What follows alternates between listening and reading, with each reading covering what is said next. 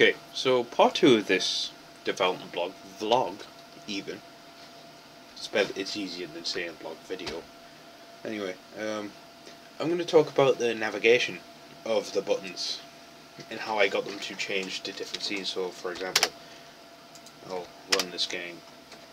How I got the how to play button to go into this frame, and how I got the back button to go back to this frame, or how to have two different play buttons. And as you can see, it's fully functional. And oh, that's another thing. Also, to when you die, you have two options to quit the game, meaning going back to the menu, or when you press again, then you start again, and then you quit. So I've made the game very open in a way. And I'll show you one more demonstration. So if I so if I get an inc oh died. So if I get an incorrect answer, then I'll just go back to the menu. So right, so I made some actions within the frames. So first off I added mouse.show, so the mouse will be shown. It's no good for it being hidden, because if it was hidden then you wouldn't be able to see the mouse cursor at all. So first off I had to import, so this line of code here, basically it imports a flash event. Basically import an event within flash. And that event then is this.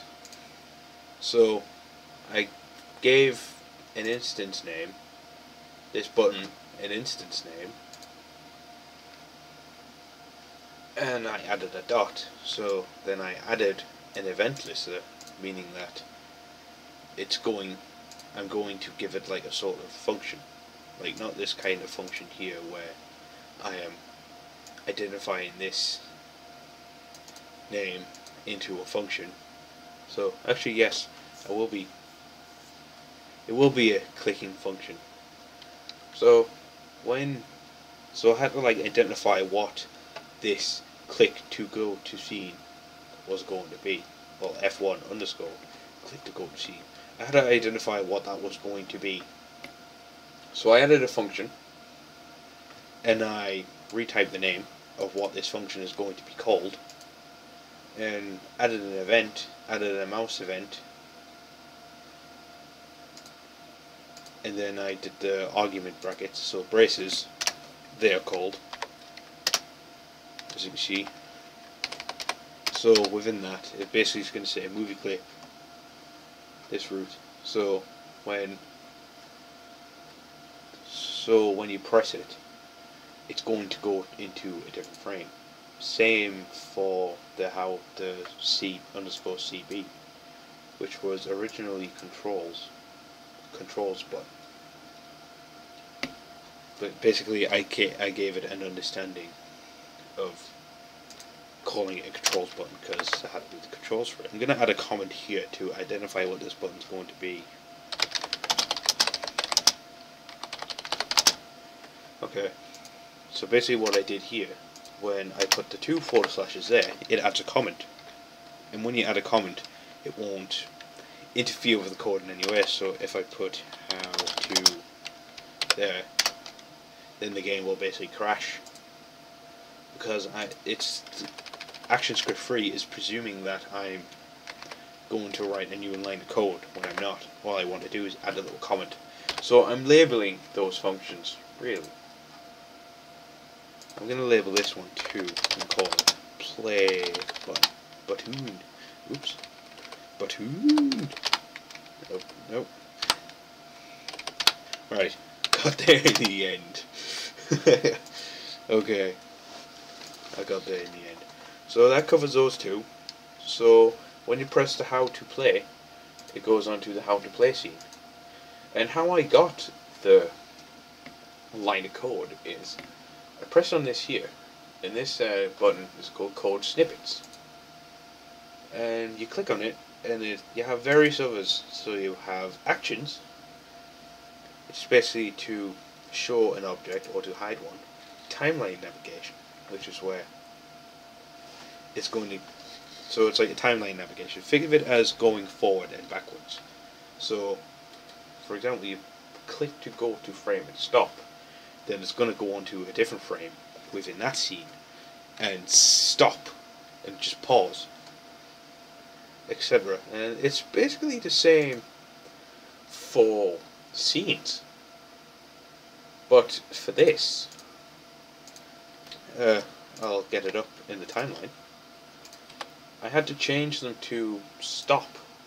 I had to change some to stop because, well, I had to change this one to stop because it was going to be a still image. If I change this to play,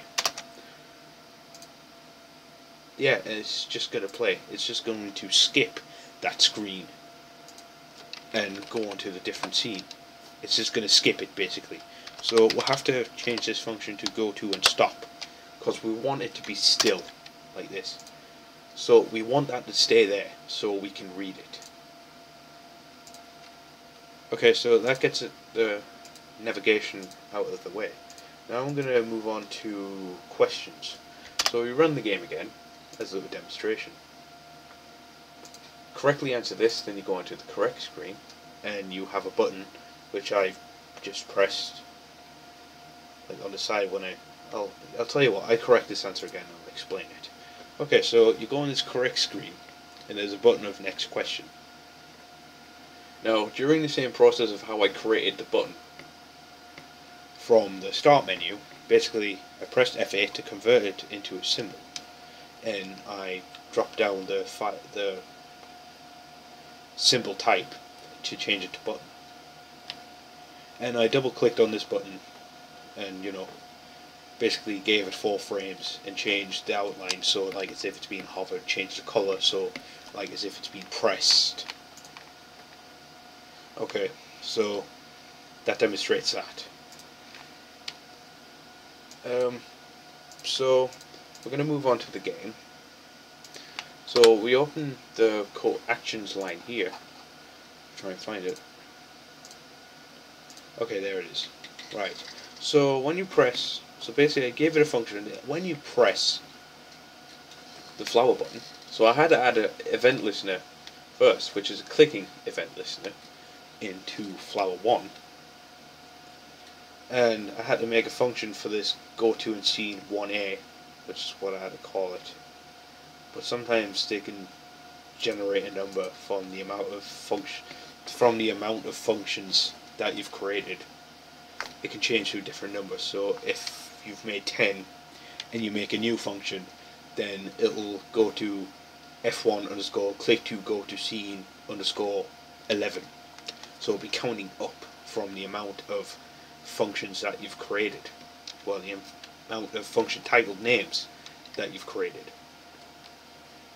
So I added a function for that mouse event, and that function will go to and stop number one which is the number frame so the first frame and basically what I had to do is I had to make quotes and those quotes I had to type in the name of the scene so those quotations instantly recognize the type of scene that I wanted to go to if it's pressed so that was how I did the correct. Now we move on to the correct scene. Okay, so basically I had I've created eight layers. Well, one, two, three, four. Well, I created eight layers for the correct, and I've made two fun actions.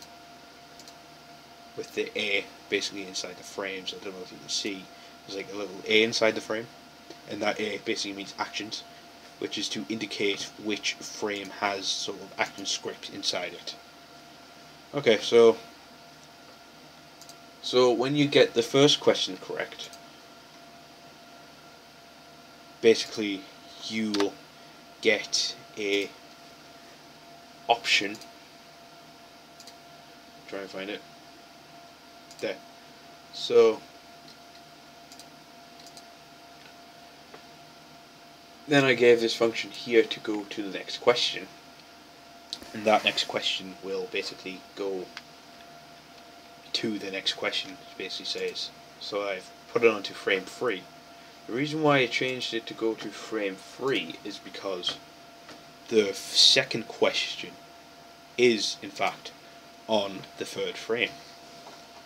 This is because if I just basically change it to go to frame 1 then it'll just go to frame 1 but I want I don't want it to go on to frame 1 because I want to move on to a different question which is on frame number 3 so that was why I gave them different frames and it goes on. So correctly answer B then you go to correct number 3 uh, correct the number correct the fourth answer then goes on to the fourth correct. And that fourth correct screen click to go to the next question goes to the fifth screen goes to the fifth question which is on the Pacific frame so onto the fifth question which is frame number 8 or 7 I can't quite see because it's really small although I could really change the size by large here so 5, 6, 7, 8 Okay, so it will go into the A-frame and etc. Okay, now to move on to the incorrect. So, if you click on the other two buttons, so 3 and 7, which are in fact prime numbers, then basically the game will directly take you to the incorrect screen where this animation plays. So it just goes down to show that it's incorrect and you get the button here which navigates you to the start screen to the start to the menu even. So when basically what I did is regardless of what question you answer it will go onto the incorrect screen and you'll have to start again.